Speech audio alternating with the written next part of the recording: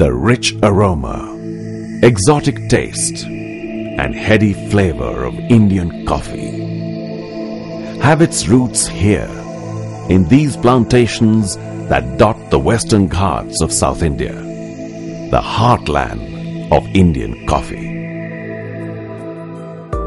The two varieties of Indian coffee, Arabica and Robusta, are widely grown in the traditional coffee growing states of Karnataka, Kerala, and Tamil Nadu. These South Indian states account for 90% of the area under plantation and contribute 99% of all coffees produced in the country. Typical to every agricultural enterprise, these tracts that produce some of the world's best shade-grown coffees are also home to pests and debilitating diseases of coffee. Prominent among the pests that affect coffee are white stem borer, berry borer, shot-hole borer, nematodes and sucking pests like mealy bugs and green scales. Diseases like leaf rust, black rot, and root diseases also result in crop losses.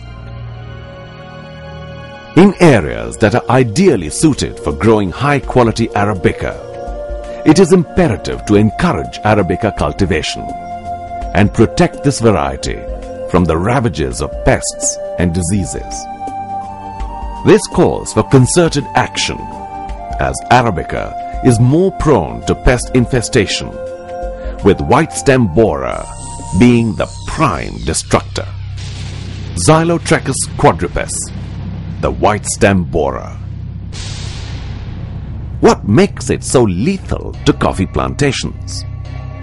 A member of the Cerambycid beetle family, predominantly wood borers, this insect is a specialist in launching scathing attacks, symptomatic of guerrilla warfare. An intriguing feature of this pest is that the life cycle begins within the plant stem, resulting in ridges and tunnels, culminating with the emergence of the insect through gaping holes, often noticed on the bark. White stem borer, the enemy within. Now, the inside story. The white stem borer is a slender beetle measuring 1 to 2 centimeters in length with a black body and characteristic white bands on the wings. The female of the species is larger than the male, distinguished by markings on the head and shape of the abdomen tip. Mating is followed by egg laying by the female borer in cracks and crevices on the bark of the coffee stem. The eggs hatch in about a week's time, and the young larvae, also known as grub, launch the attack, feeding on the soft green tissue under the bark for about two months, causing permanent ridges on the stem. The primary telltale signs of white stem borer infestation. The grub later moves into the hardwood, boring through the stem, creating tunnels in all directions. The grub constantly feeds on the wood for the next several months to complete the five larval stages, systematically devouring the coffee stem before transforming into a pupa. After about a month in the pupal chamber, the pupa emerges as the adult beetle.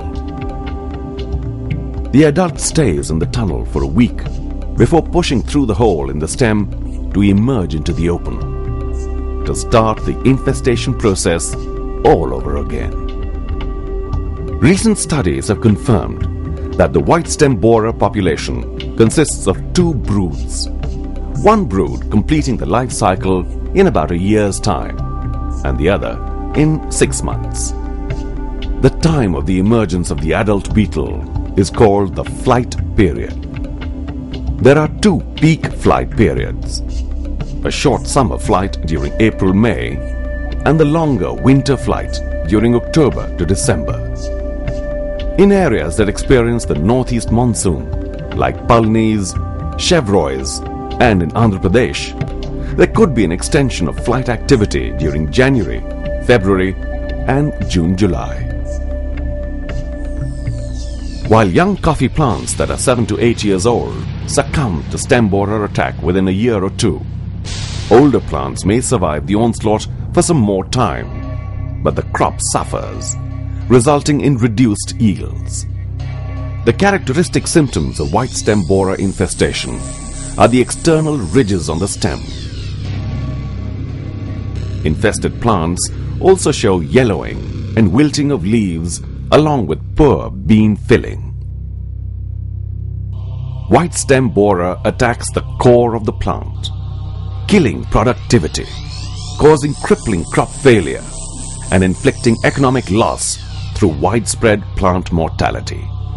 This calls for replanting of stem borer affected plants, resulting in the additional burden of maintenance costs. Being well adapted to the coffee ecosystem, eradicating white stem borer is not a feasible option presently. The solution lies in effectively managing the pest within threshold levels. Pest infestations and associated problems arise out of a combination of biological, environmental and cultural factors. Hence, an effective management strategy must hinge on an understanding of all aspects of the situation, an integrated approach going beyond the pest and the plant. The most effective strategy is the adoption of integrated pest management practices to restrict the pest population to the lowest threshold by creating unfavorable conditions through a judicious mix of cultural, mechanical and chemical control measures. The environment has a great impact on the activity of the pest. White stem borer prefers bright sunny conditions for flight, mating and laying of eggs, while rainfall and cool shade conditions deter its activity. Thus, the microclimate around the coffee plant can greatly influence pest management activities. Shade management has a vital role in regulating borer incidents in the plantation. A mixed canopy of shade trees provides uniform medium shade required to create light and temperature conditions that are unfavorable for insect activity. This is achieved by a two-tier shade system a lower canopy of fast-growing temporary shade trees like dadap and an upper canopy of permanent shade trees, taking care to fill up open patches by planting fast-growing temporary shade trees followed by permanent shade trees. Another facet of white stem borer management is to ensure self-shading of the main stem by the plant canopy. This involves retention of primaries with sufficient foliage to shield the main stem and thick primaries from sunlight by judicious pruning. While performing the centering operation, care should be taken to avoid exposure of the main stem to prevent borer attack. Self-shading of coffee stems is also ensured by sustaining foliage through timely control of leaf rust disease. Leaf rust management using Bordeaux mixture or systemic fungicide helps prevent the disease and retain the foliage. In estates where white stem borer infestation has already set in, it is important to embark on various counter-attack measures immediately. The root of the problem lies in the infested stem. Hence, the first step should be to remove all infested plants by tracing to minimize the pest inoculum. This is done by a set of trained tracers who monitor plant stems across the plantation, looking out for ridges and rings on the stem, in addition to keeping an eye on wilting and yellowing leaves. Knives should not be used to detect infestation as this exposes the stem to other infections. Timing the tracing is vital.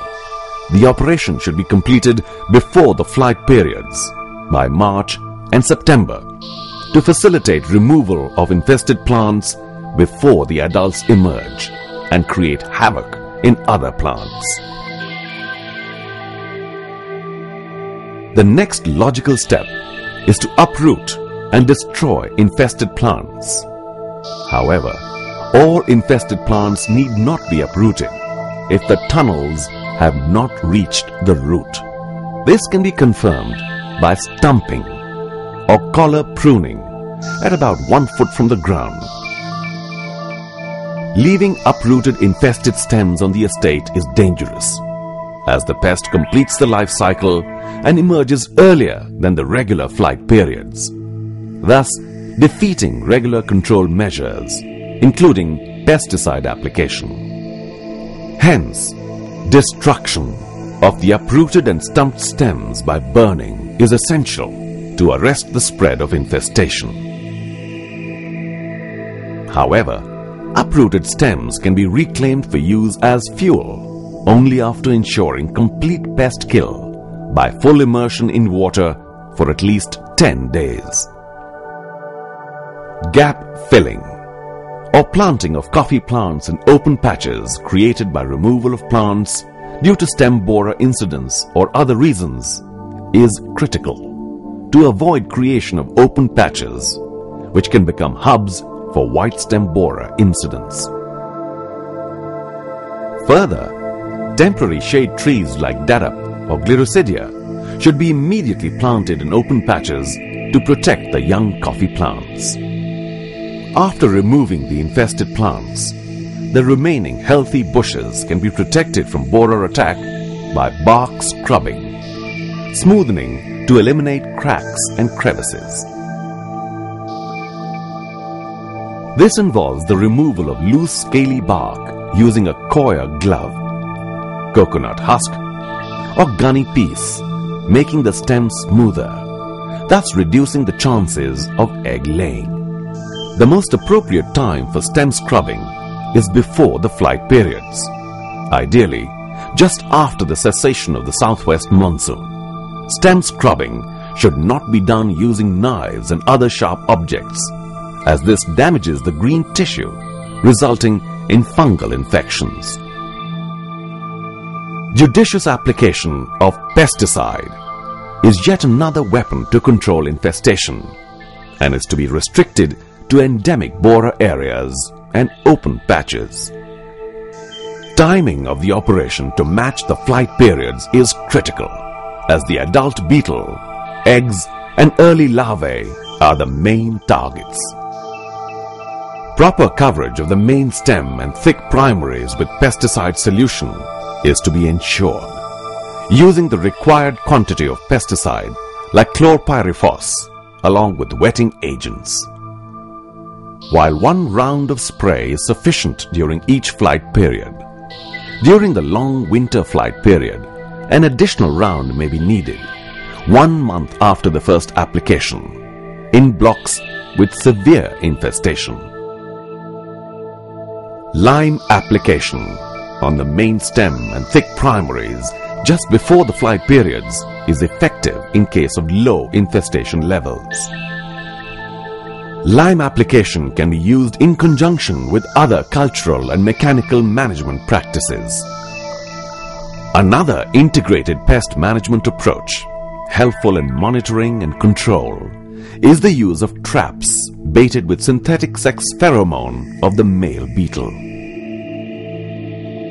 Currently under final stages of field trials, the pheromone trap attracts mainly the female beetles and also some male beetles, trapping them on a sticky substrate applied on a cross vane. Like any other insect pest, white stem borer is also attacked by a few natural enemies like parasitoids and predators, causing some degree of natural control of the pest. Some of the natural parasitoids of coffee white stem borer encountered in the field are Apenesia sahyadrica, Parallorhogas pallidiceps, and Iphiaulax species. The blue barbed bird is a predator of white stem borer, grubs and pupae. The bird extracts late stage larvae and pupae from the stem by pecking at the bark. In an integrated pest management program, adoption of non-chemical measures play an important role in this direction. With integrated pest management, we can surely control white stem borer. The methods that we use for control of white stem borer are optimum shade and um regular tracing of borer. With these preventive measures and a total and a community approach, we can surely control white stem borer. Chemical pesticides should not be used indiscriminately so as to avoid pesticide residues in coffee and also prevent environmental pollution. we don't do anything special as such, but uh, we follow uh, general uh, practices that actually have been, uh, you know, initiated uh, by the coffee board, with, which they have said over the years, where we maintain a lot of um, shade and um, we have a lot of foliage cover on the plants, and we don't do any um, um, swabbing or any chemical uh, um, pesticide uh, work. What we do is uh, we trace uh, throughout the year. Uh, we do a very light pruning so that sort of uh, helps our plant uh, re- retain its foliage and in the initial rains the foliage recovers much more quickly. We do not uh, leave the borer stumps lying around in the spot. No borer stumps are given to workers for firewood purposes. We just do tracing and some you know some phytosanitary measures which are done on time.